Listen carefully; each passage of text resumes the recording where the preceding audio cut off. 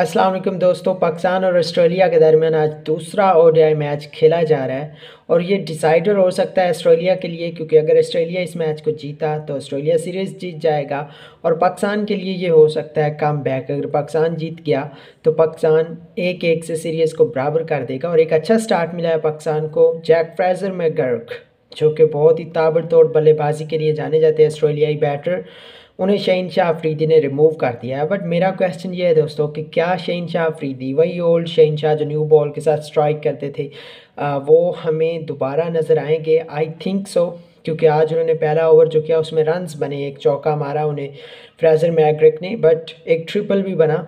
लेकिन साथ ही अगर हम बात करें तो वो क्वालिटी थोड़ी सी नज़र आई, जैसे शहीना में 2021 और 2022 में नज़र आया करते थे। और फिर वही काम उसको कंटिन्यू किया शहीन ने। और तीसरे ओवर में उन्होंने सीधा आके पैड पे मारा, जो कि उनकी क्वालिटी हुआ करती थी कभी डंडा या पैड। तो आज उन्होंने पैड पे मारा बॉल, जैक फ्रेजर मैग्रिक को और बिल्कुल इतना स्ट्रेट मारा कि जैक फ्रेजर मैग्रिक ने रिव्यू भी नहीं किया और यूँ पाकिस्तान को ये अर्लियर सक्सेस मिली है। अब देखते हैं इस सक्सेस को आगे कंटिन्यू कर पाता है पाकिस्तान या नहीं, लेकिन इंटरेस्टिंगली आपको बताता चलूँ शहीन ने विकेट ज़रूर लिया है, लेकिन साथ ही एक शहीन ने मिस्टेक भी की है। मैट शॉट का कैच उन्होंने ड्रॉप किया है लेग साइड पे। Interesting to see how this is going to cost Pakistan क्योंकि मैट शॉट एक अच्छे बैटर हैं। अगर वो रन्स करते हैं तो ऑब्वियसली प्रॉब्लम्स तो होंगी फिर पाकिस्तान के लिए।